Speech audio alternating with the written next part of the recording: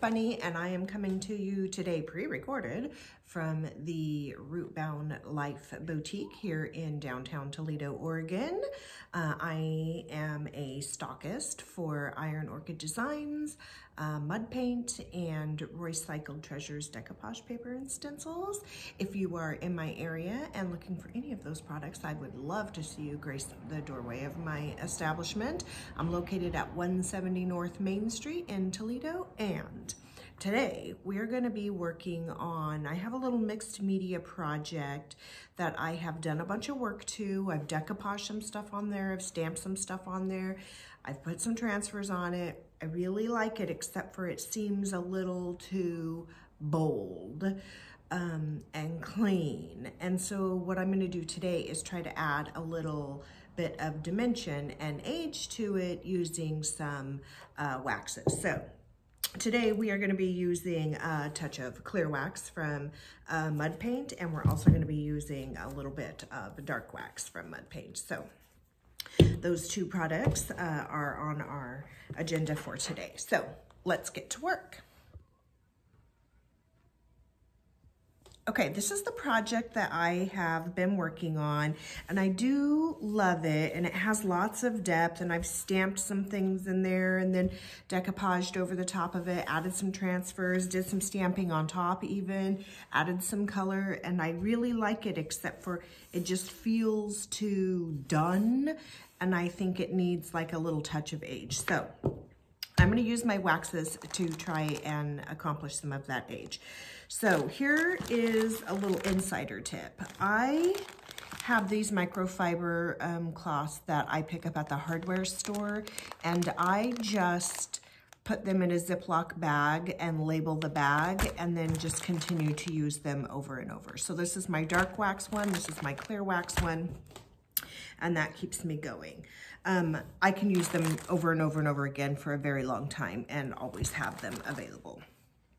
I'm gonna use this clear wax first and just put a light coat of that on there and that'll give me um, a little bit more control over my dark wax. If I went straight to dark wax and it was too much or too dark or too dirty, um, it's much harder to get off if I don't have this. I can always use this as an eraser. So I'm just gonna put a real light coat of clear wax on there um, this is very easy. You see lots of these beautiful projects online and you're thinking, how did they get that age? How did they make that look so grungy without, um, you know, like rubbing dirt into it, which is an option. You can do that. All right, so here's my wax. I'm just gonna put a little bit on my rag here. I'm gonna give this all a quick once over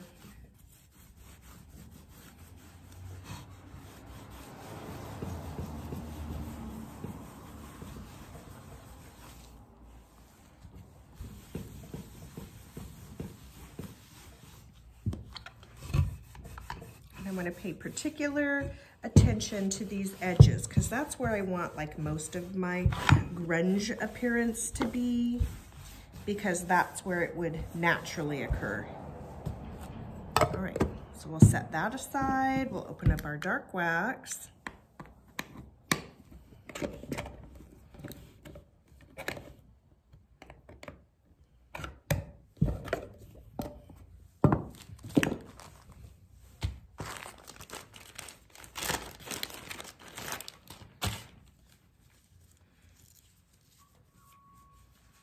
And then I'm just gonna put a little on this and then I can just start rubbing it in. I'm gonna pay the most attention to this edge.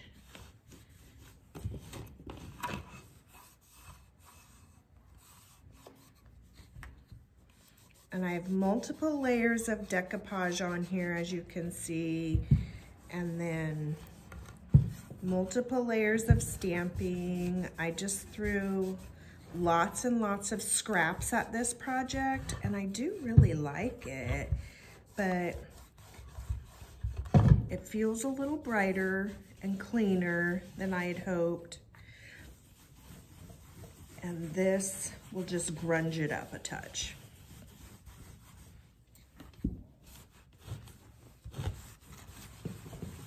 Oh yeah, that is much better. Can you see the difference between this side where I've put the dark wax and this area which hasn't really been touched yet?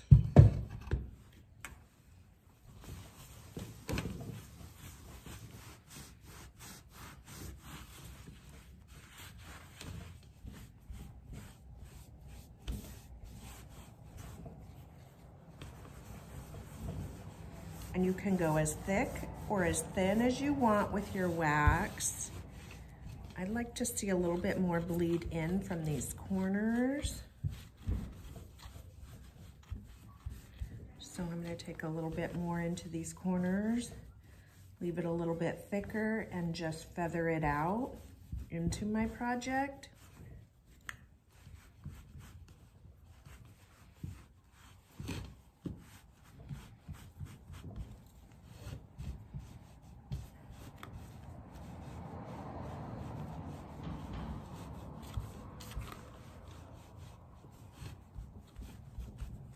Okay.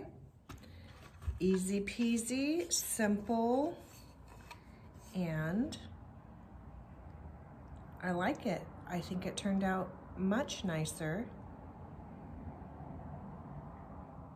All right, very good. That's how easy that is. Well, thanks again for watching. If you are in downtown Toledo, I would love to see you. Uh, I am located at 170 North Main Street. All the products that I used in today's video um, and all the products that I used on this project ahead of today's video are all available on my website. You can see them all at rootboundlife.com. Um, follow me on all the socials and I hope to see you next time. Thanks. Bye.